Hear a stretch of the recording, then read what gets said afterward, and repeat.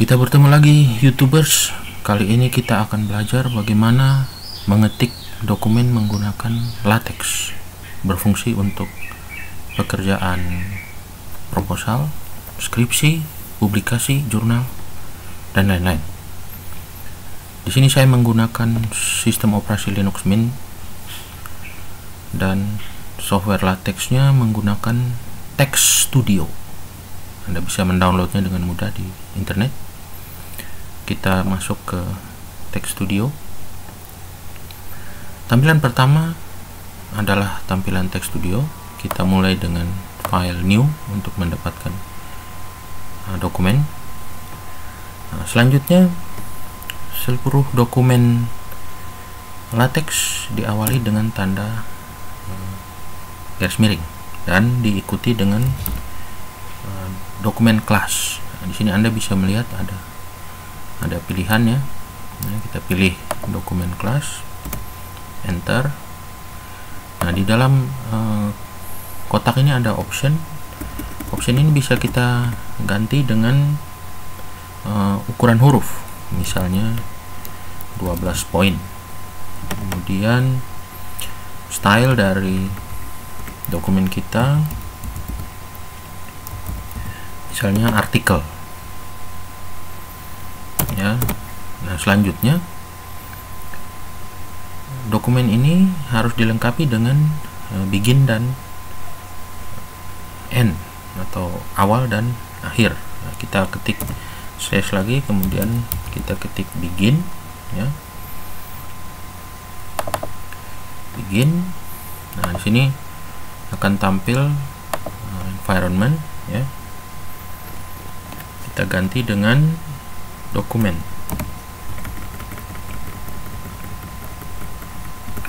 Dokumen. Dokumen. Ya jadi anda lihat nah, di tengah ini kita bisa mengisi uh, dokumen kita. Nah, untuk pertama kita ganti tulisannya dengan ini adalah dokumen latex yang pertama. Oke. Okay. ya. Nah, selanjutnya kita coba compile ya. Kita running untuk melihat hasilnya. Ya, kita compile. Proses start text studio text proses excite normally kemudian ya kita lihat di sini. Ya, ini adalah dokumen latex yang pertama. Ya, kita, hasilnya seperti ini. Nah selanjutnya ini kita bisa geser untuk eh, melanjutkan eh, pengetikan dokumen selanjutnya latex juga memampukan kita untuk mengetik notasi matematis atau uh, rumus ya. Misalnya uh, x tambah satu ya. Kemudian dan X tambah 3 nah kita coba compile ya. Ya di sini. Ya hasilnya seperti ini. Uh, dianggap uh, teks tapi uh, sebenarnya salah. Salahnya di mana? Karena ini adalah notasi matematika. Nah, untuk itu kita tambahkan tanda dolar di depan dan di belakang rumus. Ini kita masukkan tanda dolar ya. kemudian tanda dolar. Ini juga begitu. Kita masukkan tanda dolar tanda dolar lalu kita coba compile. Ya anda lihat ya X nya berubah ya menjadi uh, italic kecil ya. nah kita juga bisa mengetik selanjutnya. Kita copy.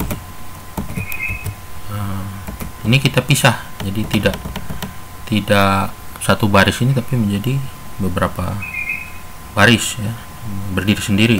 Untuk itu kita beri tanda dolarnya double ya.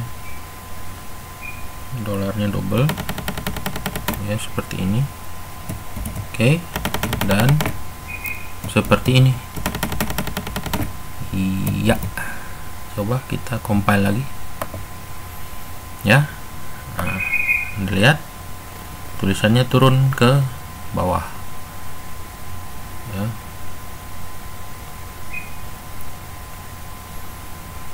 Ya demikian uh, latihan pertama untuk mengerjakan dokumen lattice oh kurang satu lagi ya. Saya tambahkan misalnya ada persamaan uh, kuadrat. Ya misalnya ini contoh persamaan lainnya pangkat ya. Misalnya ada pangkatnya.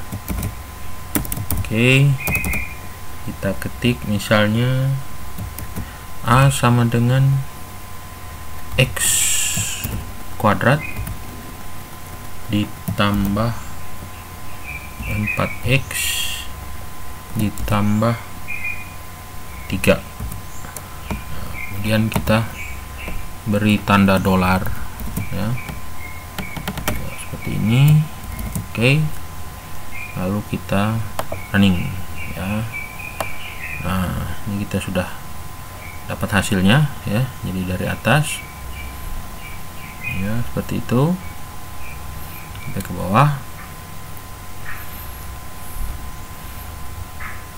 Nah ini ada apa paragraf ya. Dianggap paragraf kita bisa coba manipulasi sedikit ya. Ini kita gabung saja. Oke. Okay. ya ini diakhiri dengan enter.